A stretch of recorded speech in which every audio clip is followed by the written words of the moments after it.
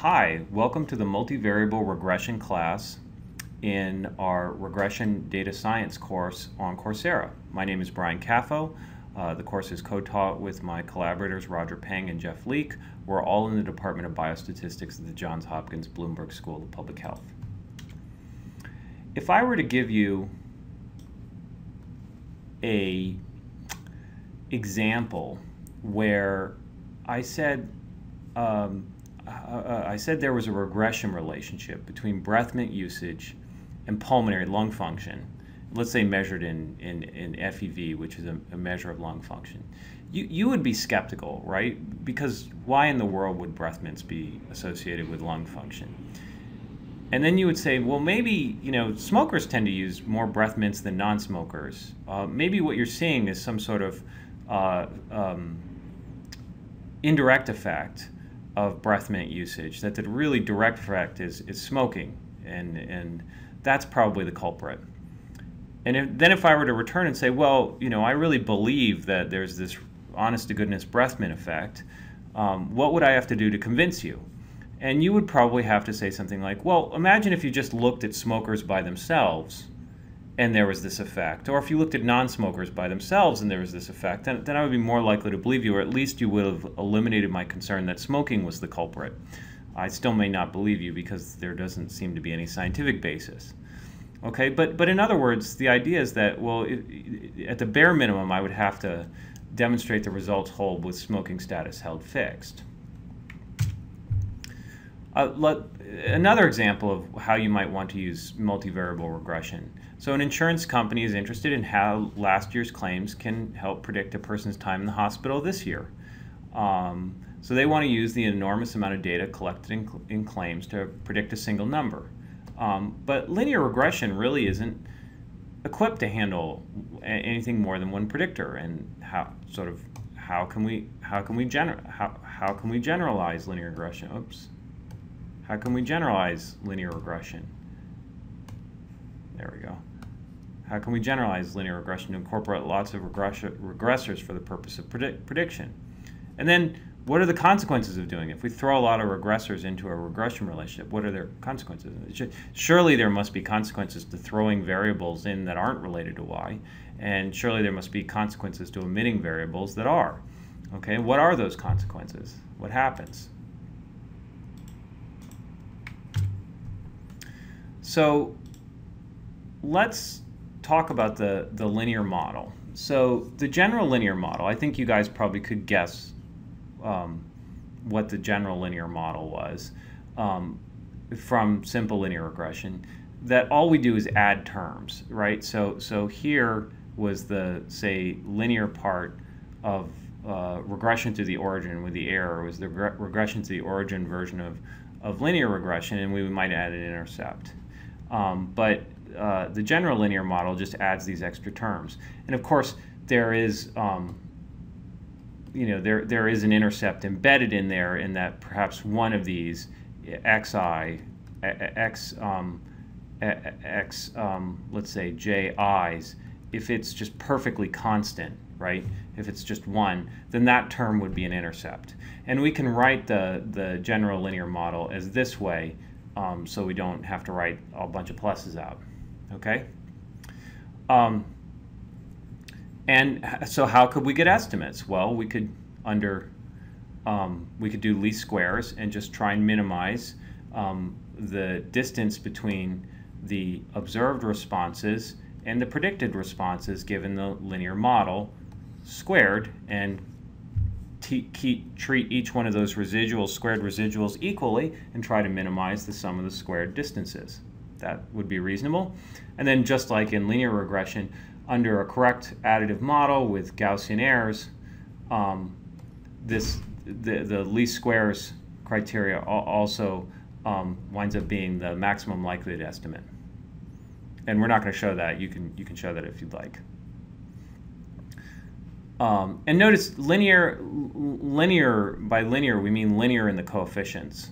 Um, if we include x1 squared, for example, as a regressor, that really is just another x, right? That, that really is um, just x. We just happen to square it in the notation. what, what we really, um, um, if we were to put it into a computer program, we would just put in the squared versions of x's and the computer program wouldn't know that they were squared, right? What, what, what's really meant by linear is linear here in the coefficients. So anything that's linear in the coefficients is a linear model. So in this case, we've just squared it. So we could have a model that says y equal beta 1 sine x, right? Where, where, where sine, I mean the trigon trigonometric function sine. That's still fine, where, where this is still just a model y equal to beta 1 z, where z is the, um, say, plus error, um, where z is sine x. If, if you sine a, a, vector and then put it into the computer versus um, um, uh, versus just put in z, it, the computer doesn't know the difference, right? Um, so what's linear, what's important about it being linear is that it's linear in the coefficients. Um, and it, so how do we get estimates? Well, if you really want to take a linear models class, go take a, a real honest to goodness linear models class. And uh, what I'm going to go over is an intuitive development that teaches you what um, what the multivariate adjustment kind of does, and it develops the estimates along the way. Um, and again, we won't require linear algebra, we won't require calculus.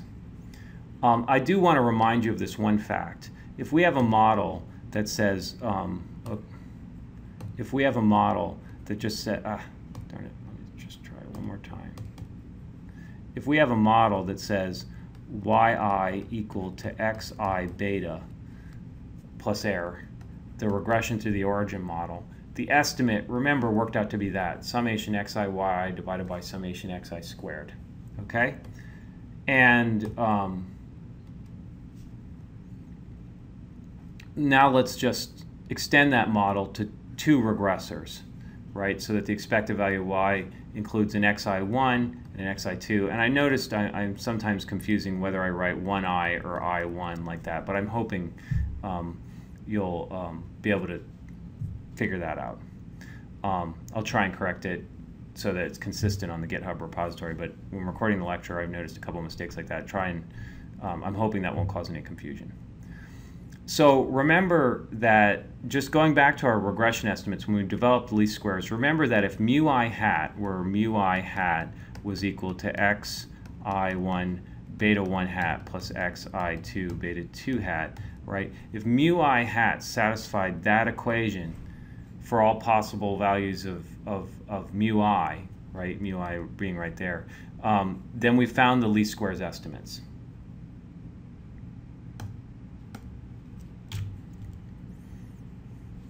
Well, okay. And that's why we did it that way when we did linear regression so that we could just use the same equation here. Okay, so there's our equation. Now let's just plug in to the mu i and mu i hat as to what they are. Um, and you wind up with this statement right here, right? Um, yi minus beta 1 xi1 minus beta 2 hat xi2 times this guy. But notice um, we could multiply this times this and then this times that and we would get um, two equations, summation yi minus beta 1 hat xi1 minus beta 2 hat xi2 times xi1 times a beta 1, um, uh, I'm sorry, beta 1 hat minus beta 1, and then the same thing with a beta 2 hat minus beta 2 and an xi2 out there. If, if that term is equal to 0, and this one with the 2's on everything is equal to 0, then this whole expression will be equal to 0, okay? And so what I've done is I've simply rewritten these two conditions right here. And hopefully you'll have noticed a pattern that in general for the more than two variable case, you just have, if you have p variables, you have p of these equations.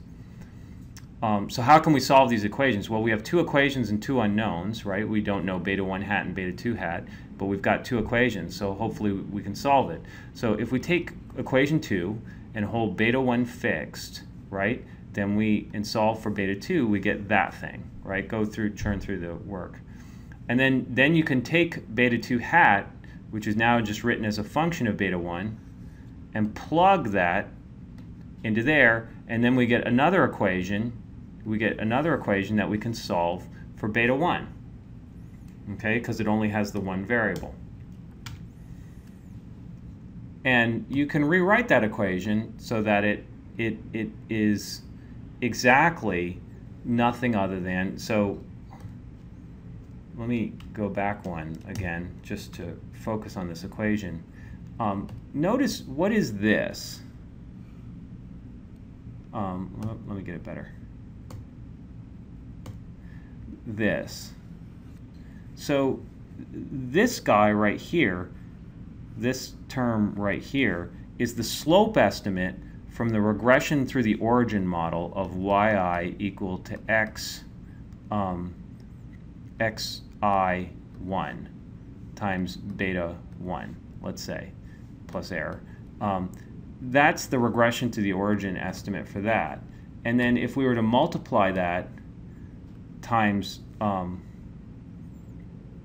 ah, I'm sorry, the, with the 2, it was the regression through the origin estimate for yi equal xi2 times beta 2. Um, if we were to then multiply times xi2, we would get the predicted y from the model yi equal to xi2 beta 2 plus epsilon i, right? So, so this term is the predicted y from the regression through the origin model with y and just beta, y and just x2.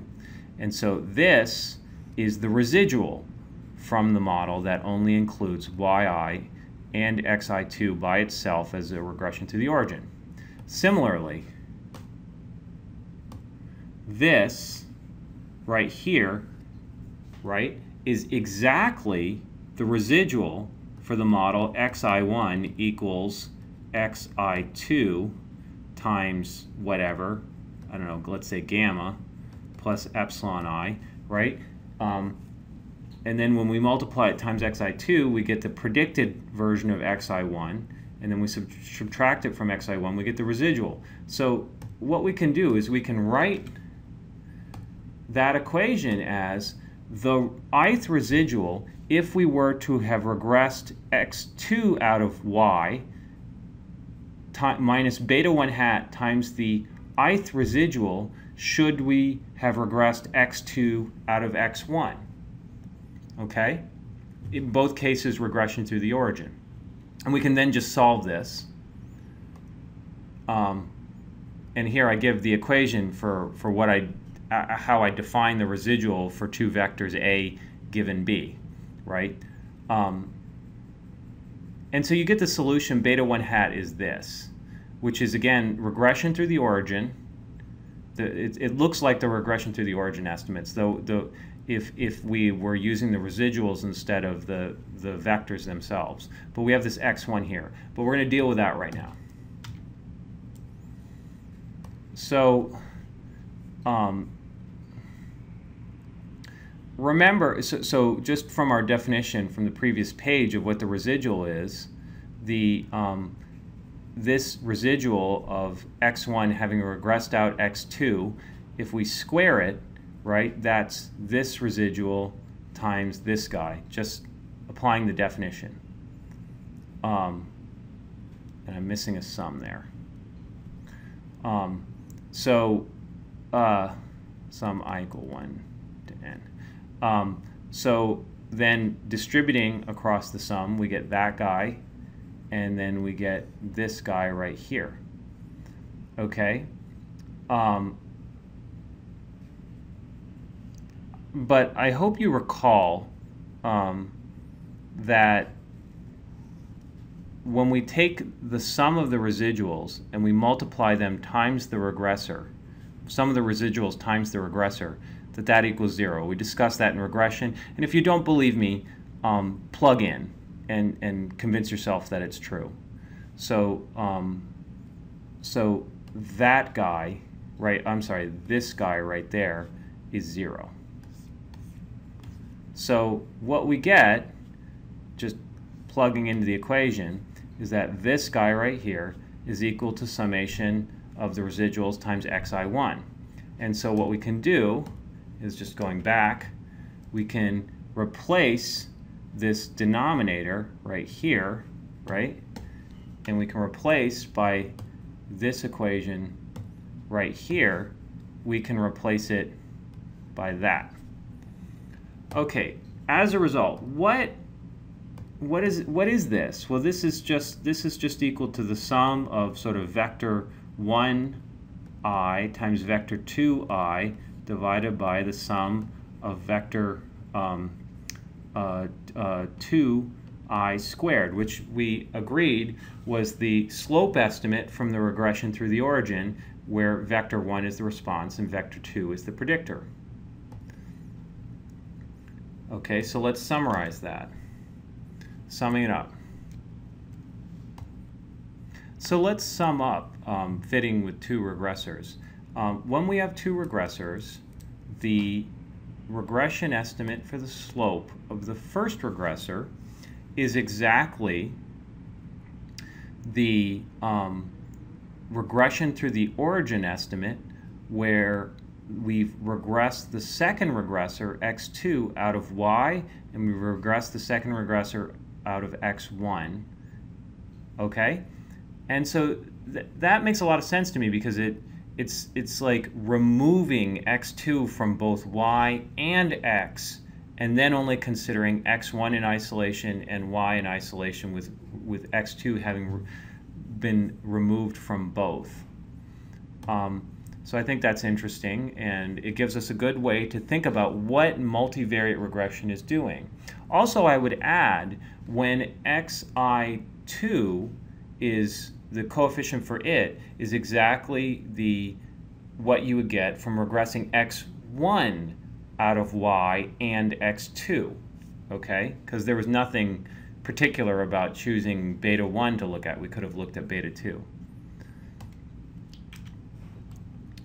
Okay, so we've actually done a case with um, two variables. Simple linear regression is an example with two variables where here um, here we specify our model. I'm going to specify it a little bit differently than we normally do. Um, um, in that I'm going to specify that the second regressor is just a constant one, is an intercept term. Okay? Then let's look at what happens um, here, then look at um, what happens when your regressor is an intercept term. Um, if uh, x2 is just 1, just plug in 1 for there and there, then you wind up with, um, then multiply it times x2i, um, which is also 1. Replace 1 in all those three occurrences, you get that, it, it, you wind up with x1 bar. And so the residual, having regressed out the intercept by itself, is nothing other than the um, centered variable. And similarly, there was nothing particular about choosing x1 to do first. We could have done y first. If we regress x2 out of y, we get the centered y variables. Okay, so regressing the intercept out of a variable, it turns out to just be demeaning the random variables. Okay? And so our beta 1 hat works out, I said, is this equation, the those residuals. If we plug into them, then we get exactly the formula that we know and love at this point. Okay, so we've already done one example with two regressors. Now let's do general regressors. So I struggled a lot with trying to get a way to do this without doing um, any linear algebra, and I think I have a nice treatment. So let's go back. Hopefully you remember, hopefully you remember what, ah, went too far. Hopefully you remember, let's see, there it is.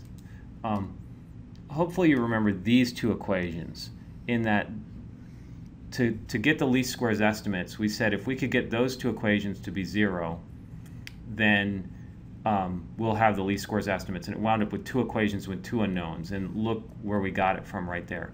I'm hoping that you will believe me that if we have more than two regressors, we wind up with just a series of equations exactly like that. And that's what I that's what I have right here, is that we need to find um, a set of equations that satisfy um, the root that satisfy this this root that we need. Okay, and and so so what this winds up with then is um, now p equations and p unknowns. Okay, and solving them yields the solving them yields the least squares estimates. But if, if you want a good, fast general solution, then you need to know some linear algebra to get a general solution. And if you want it to be fast, you need some to know some numerical linear algebra. Um, um, but this point is, is interesting because it just generalizes what we did for two variables. The least squares estimate for the coefficient of a multivariate regression is exactly regression through the origin with the linear relationships of the other regressors removed from both the regressor and the outcome by taking residuals. And because all we've developed is how to take residuals one at a time, you can do this one at a time, removing the linear relationship of x2, then x3, then x4, and x5 to get the adjusted relationship between y and x1. And it doesn't matter what order you do it, you just have to do all of them from both the, eh, the y and the x1, and you'll get the multivariate adjusted case.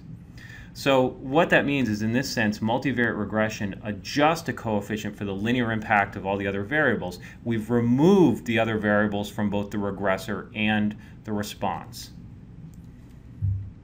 Which also tells us that if, um, well, and, and we'll, we'll see that there's then a special case if, the, if there is no relationship between a regressor and its um, the, the, the confounder that we're trying to remove. So again, this is another one of these details where you won't be quizzed or tested on, but I wanted to just show you how you get these things. Um, so, um, so remember we have these set of equations. And imagine if you held the first p minus 1 beta hats fixed, then you could solve for the pth one and you would get that estimate. And then if you plug beta p hat back into all these other ones, right, plug it in right there, then you wind up again with all of the residuals, ei of y given xp and so on, having regressed x of p out. But again, we have this guy right here, okay, x instead of the, the residual. But let me um, just show you that um, this, consider that equation right there. Um, uh, if we just reorder the residual definition, right, we get that equation right there, just reordering. Okay, um, and you know, a fact that we've used often is that the residual, the sum of the residuals times the regressor is zero. Okay, so combine these two facts. So what we could do is for xk here, we could replace it with this expression right there. And then um, this expression, this, this part is constant, and then this x sub p part um, varies. Um, however, all of these residuals are given x sub p, and given that equation, um, when summed over, it goes away. So really, as far as this sum and all these residuals are concerned, we can just replace this x sub k by this x sub k given p, the residual given x sub p. Okay, so the long and short, let me move on to the next page. And if you're really interested in the details, you can, you know, go over the mathematics with a fine-tooth comb. Um, but here's the, the end result. We've reduced p least squares equations now to p minus 1 least squares equations and p minus 1 unknowns. And then in that process, if you look at this equation, right? These sets of equations right here. Ah, wrong one. Let me get it. If you look at this set of equations right there, it's exactly the least squares equations again, but only p minus one of them instead of p of them. And instead of y and a bunch of x's, it's the residuals of y having x sub p removed and the, all the x's having x sub p removed, the linear relationship with x sub p removed. So we we're, we're, we're at the same set of equations, but instead of having p of them, we have p minus 1 of them. And then you could just keep doing this process. Then you have p minus 1 of them. You can do it again and get down to p minus 2 and so on until you're down to the one adjusted effect that you want, and then you have it.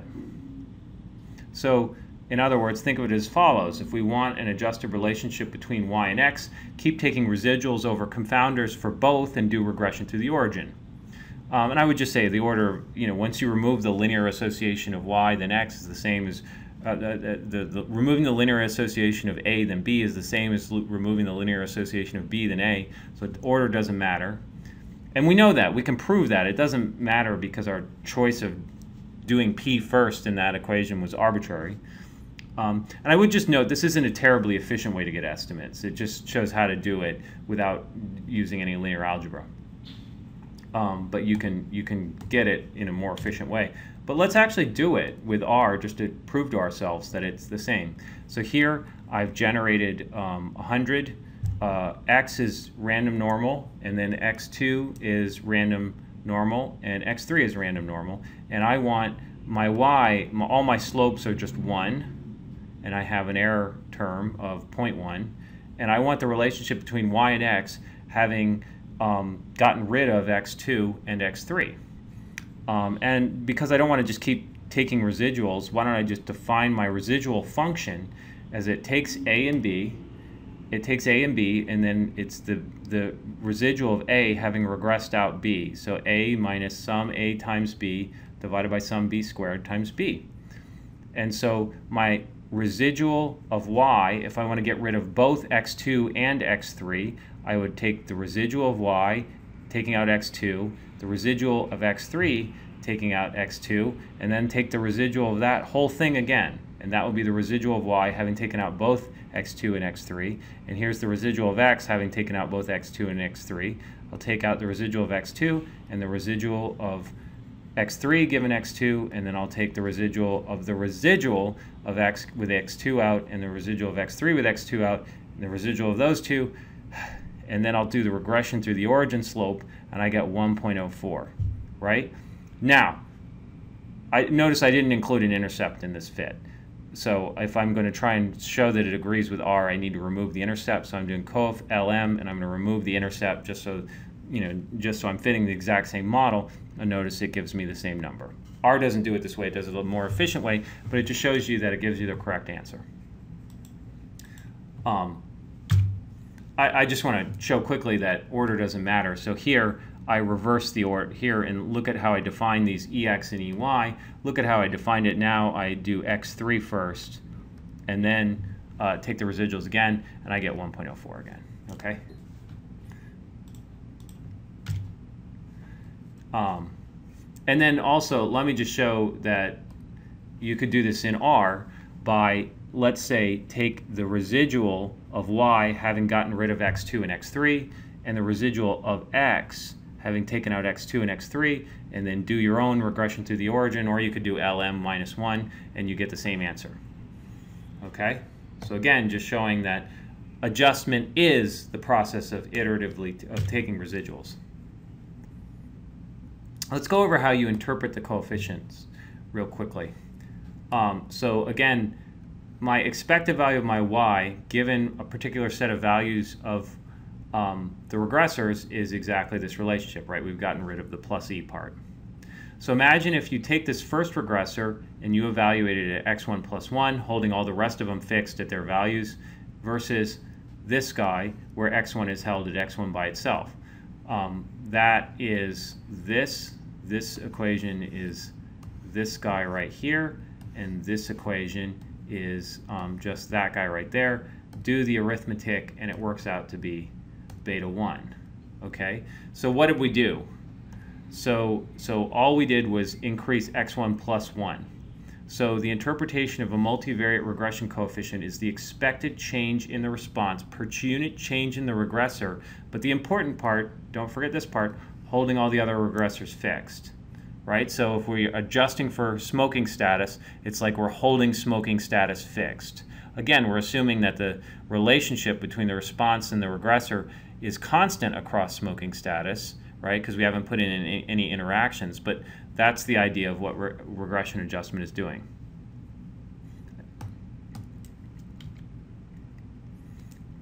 So let's go over a couple other odds and ends just so we know. Um, our model is this guy plus the error. We tend to assume our errors are IID normal 0 sigma squared, at least in this class. Um, our fitted responses are nothing other than putting the fitted coefficients in. Our residuals are just going to be the difference, ups, our residuals are going to be the difference between our, our fitted um, our um, our fitted y and our, our actual observed y, our variance estimate is just going to be the average squared residual. We're going to lose some degrees of freedom for all the parameters we had to estimate. We had to estimate p slope parameters, so we divide by n minus p instead of n, but it's still, this shouldn't be a great leap from what you already know and do from linear regression. To get predicted responses, we're just going to plug them into the model. We have a prediction interval. It's going to have a plus one if you want a prediction interval, and it's not going to have a plus one if you want the confidence interval for the, the prediction surface. Um, coefficients have standard errors, right? And the standardized coefficients, these guys, beta k hat minus its true value divided by the estimated standard error, are going to follow a t-distribution with n minus p degrees of freedom and then again the predicted responses of standard errors so we can calculate expected response intervals. So it's, it's all the same uh, as simple linear regression. So it's sort of like you did some training, some drills on simple linear regression, and now we're at the main event, um, linear models, and you're seeing how most of these ideas extend very easily. So let me just sum up linear models, because I think linear models are very important. In fact, I think linear models are so important that I would call them the most important applied statistical and machine learning technique by far, that nothing else even comes close.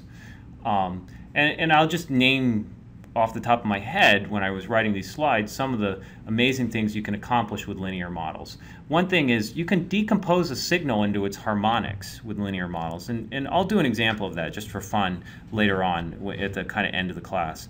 Um, but the, the so-called discrete Fourier transform is nothing other than a linear model. Now, granted, you can fit it a lot faster than, than, than especially than the way we taught today, but it's nothing other than a linear model where your x terms are a bunch of um, trigonometric terms. So we can decompose a signal. For example, you pluck a guitar string at A, uh, on the A um, um, string, and record it, digitize it, chop off the so that you just get where the string is playing the A, pass it through um, a linear model with the correct terms, um, look at the squared coefficients, and you'll find the one at the perfect frequency of 440 or whatever it is for A will, will be the one that's sig significant.